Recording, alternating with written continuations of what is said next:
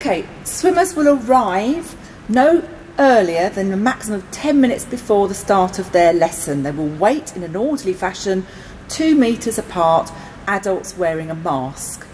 You'll have a bag with you, ideally a bag like this one being shown with your name clearly on it, containing your towel, underwear after the lesson, and the float and the noodle that you will be given on week one.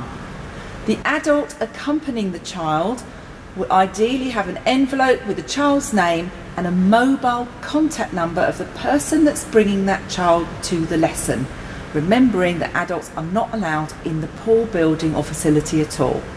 This door will be wedged open. Parents leave the child there. The child comes onto poolside wearing a onesie with a swimming costume underneath and flip-flops. They get to the end, take the flip-flops off quickly, putting them in the bag, and then carry on to their group.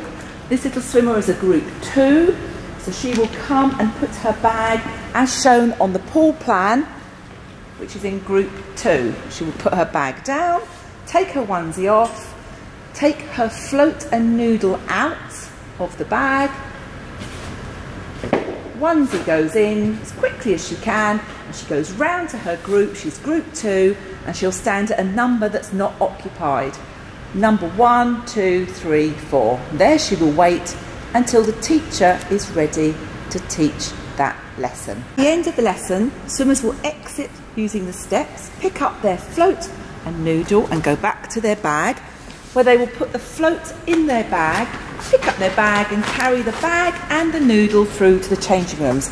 Week one, the assistant will show you where to go.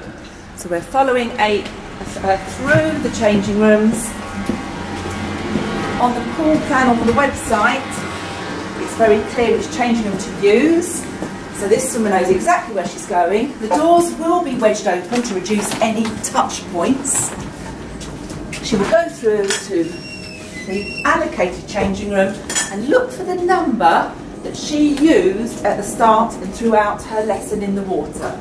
So she was a number one, she's found her number one and she gets changed quickly if need be. She's got her towel, she quickly dresses, puts her underwear on, puts her onesie on, puts her shoes on and disappears, remembering showers are not to be used at this current time.